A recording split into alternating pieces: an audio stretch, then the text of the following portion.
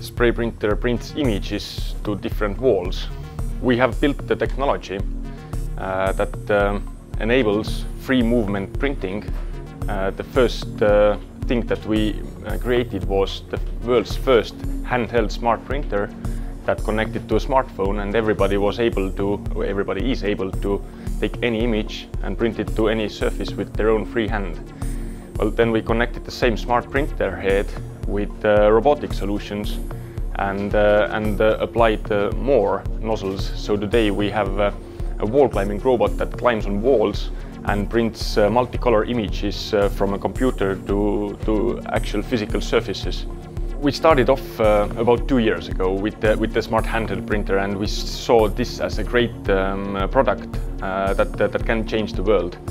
Now, when we have uh, had a chance to travel around the world and introduce this technology, then we have discovered that um, the competition advantage uh, comes in when we focus on the end result on the wall.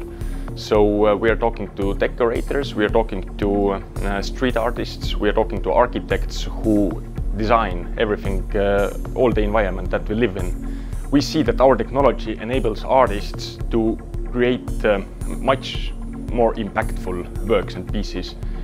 Basically, Sprayprinter uh, takes down the human resource on every print at least, um, well, instead of five person doing at least two to three weeks of work, with our technology, two-person crew can execute uh, prints uh, with just a couple of hours on very uh, large-scale uh, surfaces.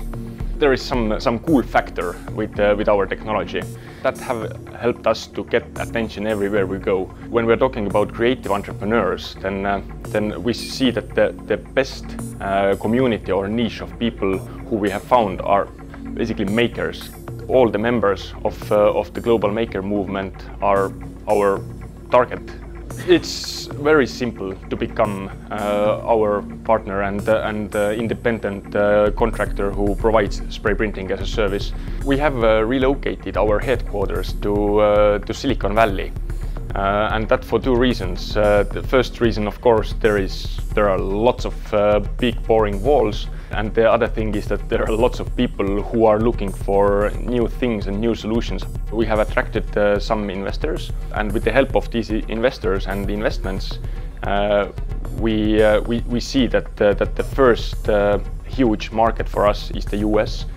Of course, if if there is success and validation on the market, then, uh, then copycats will follow. I would say the most important thing is to get the technology stable and to be able to teach other people to use this technology.